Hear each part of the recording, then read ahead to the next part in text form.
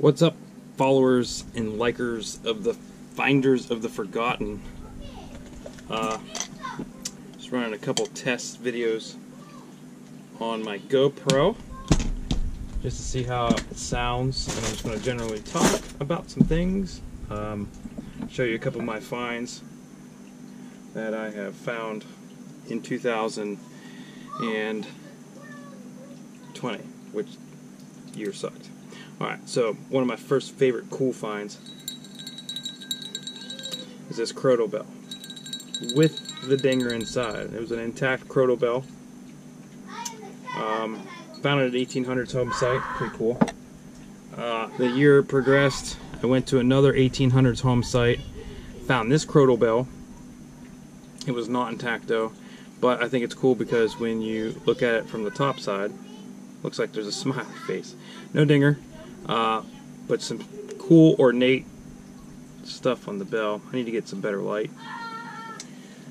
Uh, let's see what else have I found. 2020. This is another cool find. This is a 1940s chauffeur's license.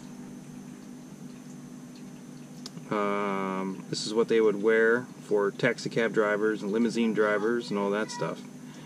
Found it in the ground. Um, home site was gone. Uh, talked to the, the homeowner. Uh, was in his family for years, but he does not remember anybody having this. Uh, the unique thing about that is it's completely intact with the pin. Kind of cool. Um, the dog tag that got licked. Uh, Dennis and I were at a home site, and uh, it always happens that somebody comes up and says, "Hey, what you find? What you got going on? You know, all that kind of stuff." as we're sitting there and I, I open my finds box which I don't have it down here open my finds box up and this guy just reaches in and snaps this thing out of my finds box he's like I lived here all my life might have been to my dog because this is and I told him this is a dog tag I said sir I don't think this was your dog tag he's like I lived here my whole life gentleman was probably about 56 years old um, I don't know if you can see the date on that. Let's see if we can get a date on it. Oop, camera's weird. Camera's weird. Here we go. There we go. That's a 1924. 1924. If this was his dog, he'd be near next to 100 years old. So I don't think quite think it was this. So anyways, he proceeds to clean it off because then he's arguing with me that it's his dog tag. I said, okay. So then he licks it. He licked this thing. Took his thumb. Well, I guess it is 1924. okay, here you go. I was like, ooh, just put it back in, please. Thanks. So I came home, sanitized it, let it sit for quite some time. But still, another one of my cool finds I like. You know, anything with a date is always awesome, but historical value is a monument. Um, definitely go into some uh, monetary stuff that we've found over the last year. It's pretty cool. Uh, I don't have my other ones down here, but I do have. See here. Oh, you can see the date on this guy. So this is what's called a large cent. This is an 1840s large cent. Um, I want to say a matron head is what they call them. I need to get a better light down here. Because I have a feeling I can do some cool blogs down here. Uh, but on the back, he cleared say one cent. It is not a brothel coin. If you know what a brothel coin is, get extra bonus points. Hmm. This is probably one of the coolest finds, uh, too. I got all little things that I keep forgetting about and then I come up to. Um, anyways, this is uh, this was found in the area of East Liverpool, Ohio at a farmhouse. Um, it was smashed on the side, so it took me a while to identify and uh, and look up. But it ended up being a bank down in downtown East Liverpool, and this was the um, anniversary token in 1909 that they handed out. Uh, it was lost, of course, and I found it. But in research, this bank burnt down in like 1929, and they never rebuilt it. There are still pictures of this bank and this coin. So, cool find. Let's see here. It's pretty cool show and tell here. Ooh. What I believe to be is a miner's tag, but there's no identifying markers on it other than the number 8, so I can't really call it too much. Um, Alright, then we'll go into uh, go into the rings. First ring I ever found. I've only been metal detecting for a year. I was at uh, an old schoolyard that was torn down. Now it's a park.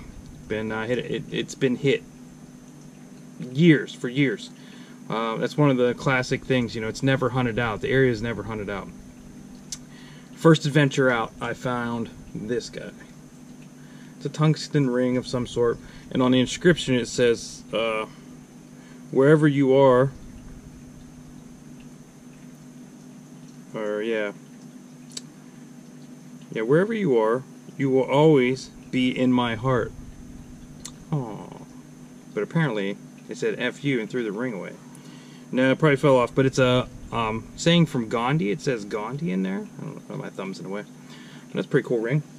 Um, another 1800s uh, home site. Found this little child's ring, little child girl ring. I mean, this thing doesn't even fit on my pinky. That's how tiny that guy is. Uh, I'm not quite sure the metal makeup. It's not silver, uh, and I don't know the year. I've never been able to define, uh, identify or any find any identifying markers. Um, found this at a farm home that was uh, in the family for hundreds of years. Um, dug it up.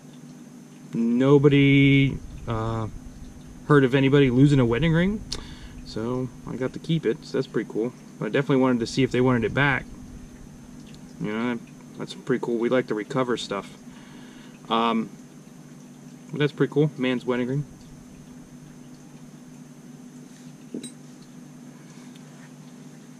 Another ring, I don't even know. It's like a copper ring with the gold gilting. Another ring I haven't really been able to identify. Hmm. Ooh, this is pretty cool. This is like my board of fun finds. Um, this took me a while to identify. I had to uh, research online, and um, this is a fox, like a, a, early 1900s, late 1800s fox, like spectacle buckle. This isn't like the real thing from the colonial, but this is something that they still wore in the uh, early 1900s and the late 1800s. It's kind of cool. I'll keep around. It was a it was a stellar year for me. Um, I didn't even know what my bucket lists were going to be um, until I started finding them. And I was like, oh, that's really why I'm in this hobby. And this is one that was cool too. Uh, it was late. Uh, it was actually mid-morning hunt.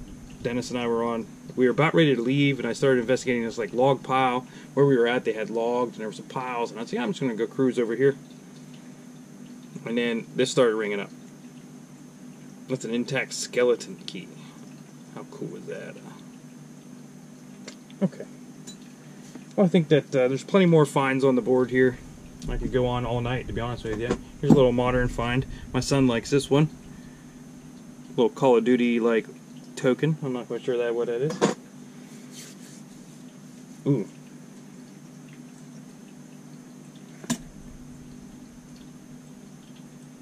That is a makeup tube. I have not been able to open it up, but it feels full, like it was a brand new makeup tube.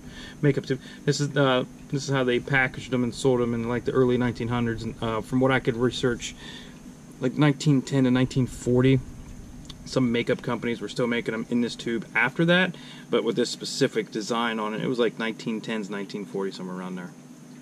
It has a B on it, and I think that meant the color, but I'm not quite sure. Still can't get it open.